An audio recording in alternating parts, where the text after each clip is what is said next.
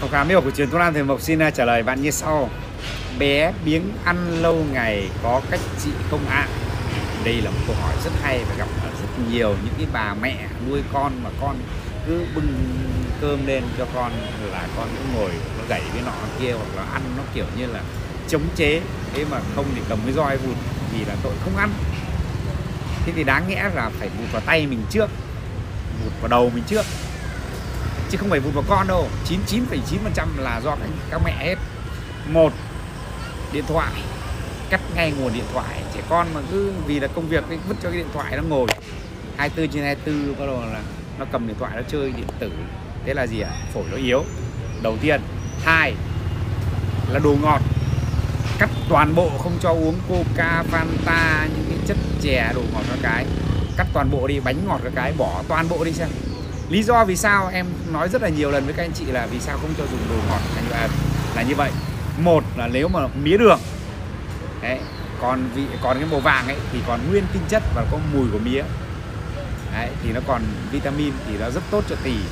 Nhưng tất cả các công ty mà làm đồ ngọt làm nước ngọt các cái thì đương nhiên nó phải lấy đường trắng vì đường trắng là nó không còn cái vị của mía nữa và nó chỉ còn chất ngọt thôi. Và cái vị ngọt đấy nó chỉ là vị ngọt mà nó bị lọc qua hóa chất rồi. Cho nên nó nhiễm và nó là chỉ còn là gì? Cái mang cái tính axit, mang tính vị ngọt để lừa miệng, đưa vào trong cơ thể của chúng ta. Nhưng lại không bồi bổ mà lại tăng tính axit.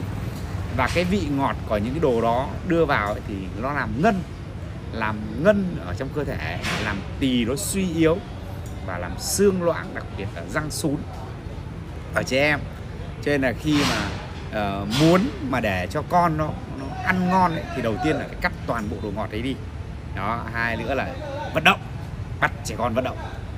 Bớt thời gian ra 10 20 phút một ngày tập thể dục với con. Vì cái việc là khi mình tập với nó mình hò hét với nó thì nó ok. Đấy và còn một tình huống nữa xảy ra nữa này. Có những cháu bé mà do nó trẻ con nó nhỏ ấy, nó bị viêm họng ấy thì mình dùng quá nhiều kháng sinh thì cũng có thể bị viêm dạ dày hoặc viêm đại tràng hoặc nó làm cho gan nóng hoặc là làm tỳ yếu không vận hóa được. Nhưng mà thường trẻ con nó rất là dễ khi điều trị nó rất là dễ thôi. Vì tính thiên thần là gì? Cơ thể nó còn đang khỏe ngủ rất là ngon vì nó não bộ nó trong veo. Khi mà nó ngủ được nó kiện vận nó vận hóa nó giải độc rất là tốt. Đấy, thì là thường nhanh thôi điều trị cái đấy thường nhanh thôi.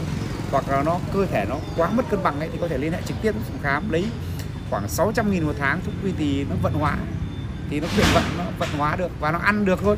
Nhưng quan trọng nhất phải cắn những cái đầu vào kia, thì chắc chắn con của anh chị sẽ hết miếng ăn. Xin